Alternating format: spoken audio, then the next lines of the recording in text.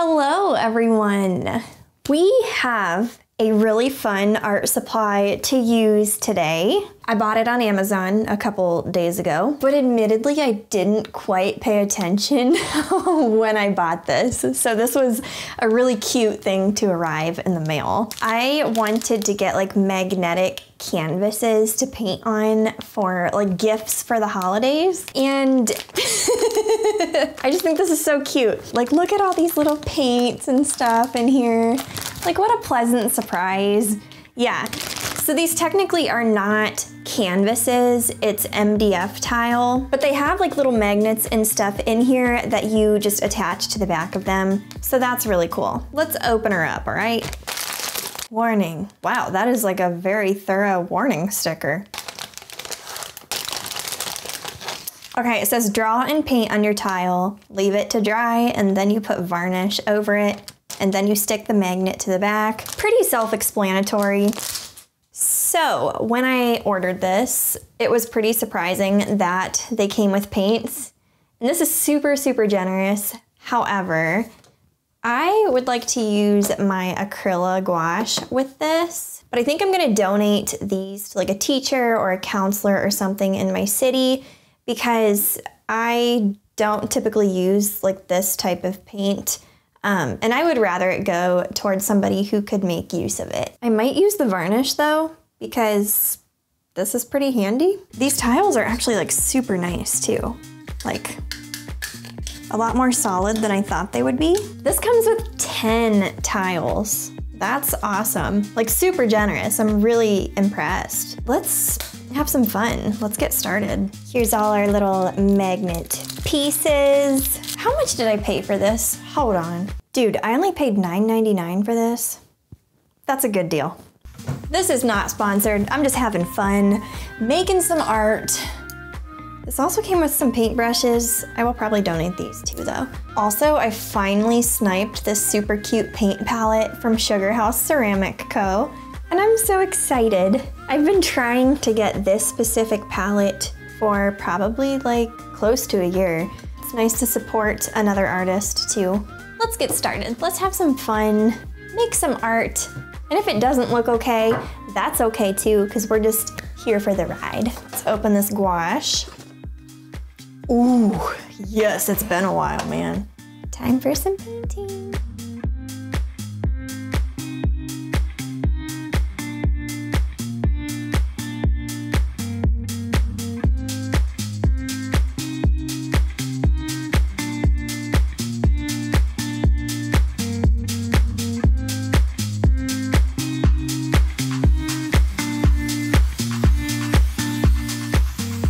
I know I said this in my last video, but finally feeling like I'm settled into a space again is such an amazing feeling. Okay, you can see on this palette here, I have some like brownish paint colors. And I think I would like to do like a base coat with these. Okay, I'm gonna take you down with me now. Let's just coat some of these. It's gonna be a good time. A good time, guys. Um, I'm gonna just try something. Um, maybe I'm supposed to paint on this side. For the sake of this painting video, I am, because I already set up my whole gouache palette and this is what I wanna use. We'll just set this little guy aside. I am sensing that we should like really hang out in this video and make a lot of art. So what if we try to do five mini magnet paintings together? And then if this one ends up being fun, we can use the other five together some other time. So bust out your art supplies or I don't know, do your laundry with me. Let's hang out.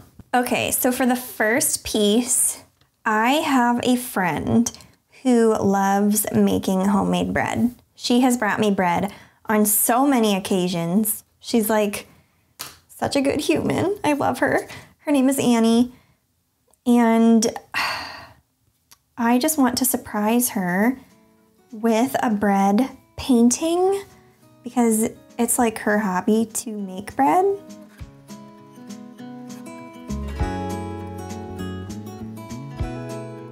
All right, let's do the background first, shall we?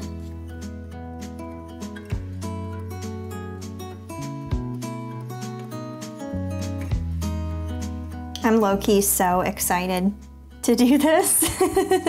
Let's do like a somewhat sage colored foreground.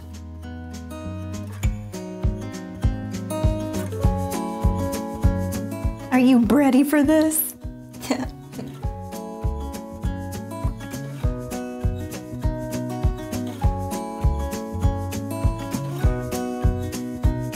All right, we're getting there. I think we're gonna have to do a couple layers for the bread loaves so we can build up some value. But everything is blocked in, so thumbs up to that. Almost everything. You'll see, something's coming. At least if we make a mistake, we can keep on layering.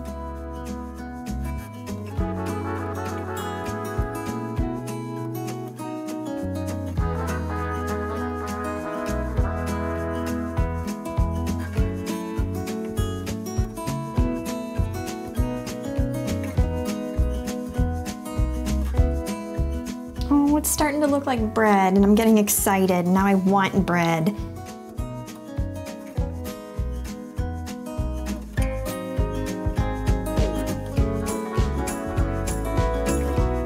This here is like supposed to be burlap.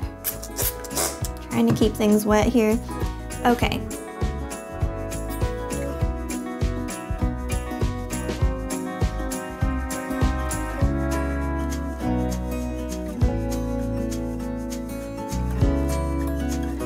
Okay, I want to do like a little sprig of greenery in here with this. So let's see what we can do.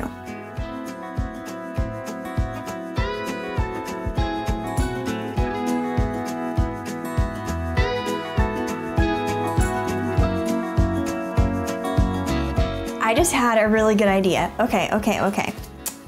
You know me in my gold colors think we should paint the edge of this canvas gold. Yeah, the more I think about it, the more awesome that sounds. So let's see. Let's see what happens. Hey, I think it worked out really well. Glad we did that. I should stop touching it though, because I smeared it. Time to do another painting. Or time to eat some of Annie's bread, because I have some at home.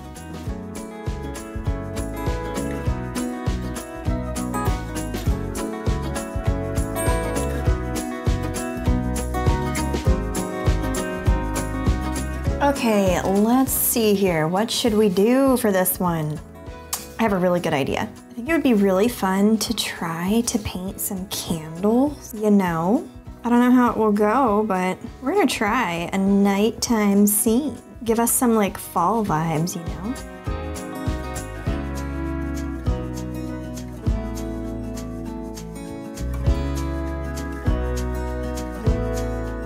Okay, now I want to do the background and I'll probably do like a dark blue at first.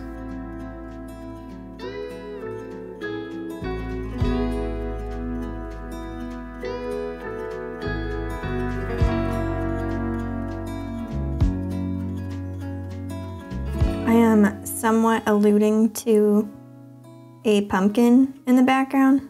I'm gonna get rid of the pumpkin in the background. I decided against it like right after I said that. it's okay. Sometimes less is more. And in the case of this painting, less is more. Let's figure out how to paint these flames it shouldn't be too hard. There's like a, a yellowish hue about them. Okay, this one needs to dry for a little bit. So in the meantime, we're gonna move on to another one. How are you doing, little piece?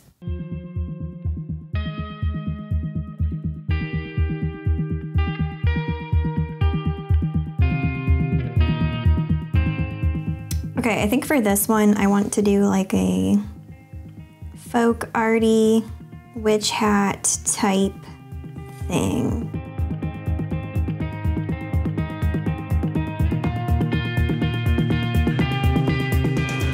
Do I have a super tiny brush?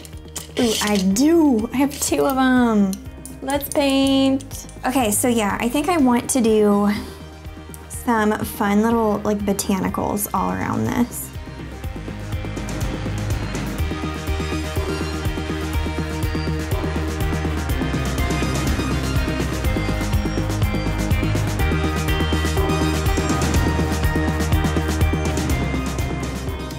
Lighten this entire hat. I'm not happy with it anymore.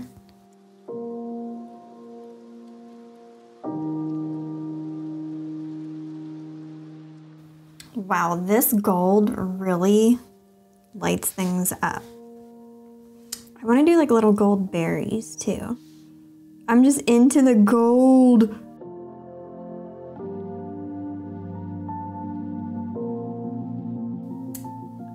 This one might be my favorite one so far. This one was just so fun, yet so simple. I think we need to revisit this one though.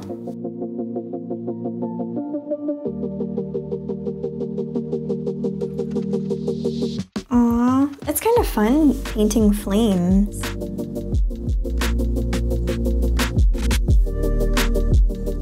Okay, so now I need to decide if I want like stuff to kind of glow around these candles. Like we could make that work. Ooh, what if we did like a, an impressionistic style?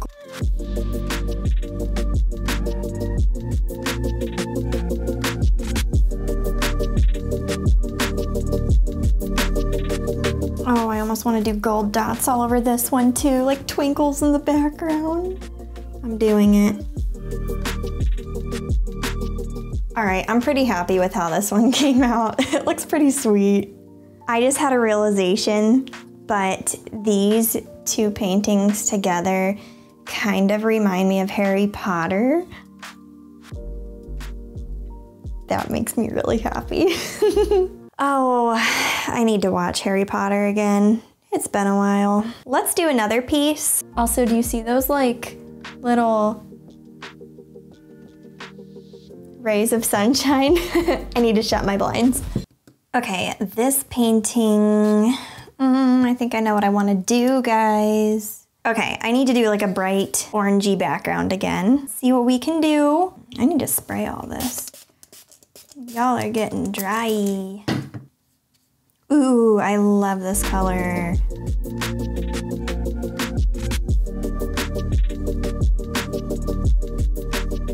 Gotta let that dry. So last year around this time-ish, I sort of did a ornament, Christmas ornament painting thing. And I did like impressionistic wildflowers. And you know, sometimes I miss those days. We're going back to some fun times today. I'm gonna try it with a different approach though. Can see I did a bright orange background. I'm gonna try to get some of that to glow through. I like these like glowy effect paintings. I wish I had regular red gouache. Might have to get some of that.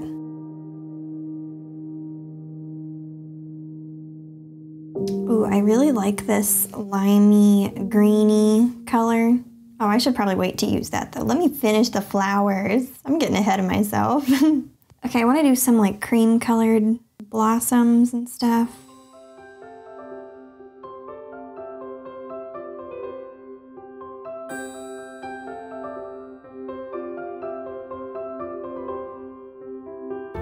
Let's paint the sky. How exciting!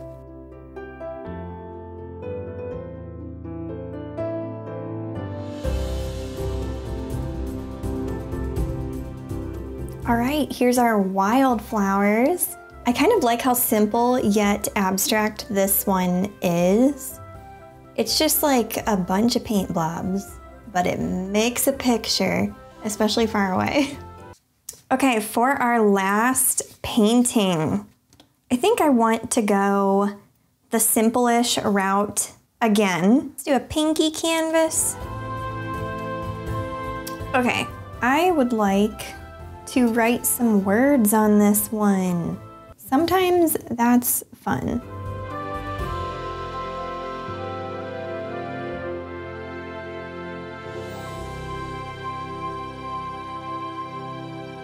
Okay, this one was definitely more simple, but I just really wanted to make a magnet that says this so that whoever opens the refrigerator can get a really positive reminder that we all need to see from time to time. So, yeah, if you're going through a hard time right now, or maybe you're just doubting yourself and you need a little reminder, you matter. I thought that was a really fun one, and there was no stress for like shading and getting everything to look right. It just had a simple message. So, the only thing I have to do now is paint the edges. Oh, we have to add the magnets. Okay. You ever just have like a hair that's hiding on you somewhere, but you feel it tickle you. Ugh. We need to put the magnets on. We're at least gonna do that on video so we can, you know, have the joy of creating magnets. I don't wanna clickbait you guys. Are you ready to turn into a magnet? The answer is yes. Um, okay, this is where I kind of have an issue with this little art set. I was under the impression that two of these would go on the back of each piece of canvas and they only sent 10 of these. But like, how is this gonna be strong enough to hold the painting up and like a piece of paper? I'm putting two under them because, yeah, I just can't here. We're doing two. Ooh, there's one. It is not centered. I don't know how I messed that up. Okay, let's try another one. There we go. We like that. Look at that. Got our magnets on the back. Mmm, this is good. Also, I think I'm gonna change my mind with the varnish because I really like the matte finish with this acrylic gouache. And with acrylic gouache, it does not reactivate with water. So I think we're fine. It is a personal preference. I know a lot of people would probably varnish acrylic gouache, but I don't want to, so it's all good. I really like the amount of heaviness that these have after the magnets are added to the back. Just my side thought. So I just remembered I have these oil paint markers from Arteza and I really, really like them. And I think they work really well for like touching up edges of stuff. So I'm gonna use these and touch up the edges of my canvas. I think this is a cool way to give them some color. I think I'll do orange for this one. Or should I do yellow? Oh, this is hard. I'm gonna do yellow. That worked really, really well. Look at that. Nice. Pretty happy with it. Glad I remembered I had these. Ah, I'm so happy with how the edges of these are turning out. I'm gonna do the same blue for this candle one because I really like this shade of blue. Alrighty, the edges are painted on everything except this one because this one is still drying, but I really enjoyed this entire painting experience. Like this one here, it's nice and subtle, but there's a little witch hat, some little gold berries and stuff, and I think it might be one of my favorites. I don't know. But this candle one was really fun. I enjoyed this a lot. Anyway, that's all the art we have left for today. However, we have five of these MDF board canvases left to make future magnets. So if you would like to see another one of these videos, drop a comment down below and maybe I will make this like a two-part series if you guys are enjoying it. Thank you so much for watching. I will see you next week with some more fun art. Bye.